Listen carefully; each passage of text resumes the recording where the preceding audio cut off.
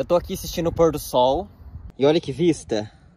Eu não só vim aqui assistir esse pôr do sol, mas também queria falar uma coisa pra vocês. Já tem há muito tempo que eu queria falar sobre isso, só que eu sempre tive medo. Medo do que as pessoas vão pensar, medo do que as pessoas vão falar. Ainda mais de onde eu vim, que eu fui criado na Hostel, que se eu pensasse na possibilidade de ficar com outro menino, eles demonstravam que isso era errado. Tanto que eu tive que criar uma máscara para ser quem as pessoas queriam que eu fosse. Então hoje eu decidi tirar ela, já que estamos no mês de junho, mês do orgulho. Eu estou assumindo a minha bissexualidade. Estou muito feliz de estar contando isso para vocês. Não quero ter essa máscara de novo, não quero botar essa máscara e eu quero ser feliz e é isso que eu estou fazendo. Eu estou indo em busca da minha felicidade, porque a vida é só uma. E também eu estou me descobrindo, então não sei o que pode acontecer lá na frente. Só de ter dado esse primeiro passo já é o começo. Então você, pessoa que me conhece ou quiser parar de falar comigo por causa disso, eu não vou ligar porque eu não vou correr atrás de ninguém, não vou correr atrás de atenção, não vou correr atrás de aceitação. Mesma coisa minha família, se vocês me aceitarem, beleza. Se vocês não me aceitarem,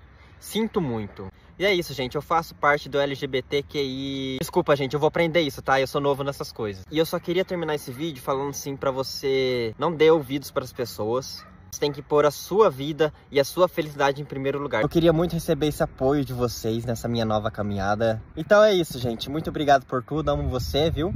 Espero que o carinho de vocês por mim não mude também por isso. E agora eu vou terminar de assistir o finalzinho do pôr do sol.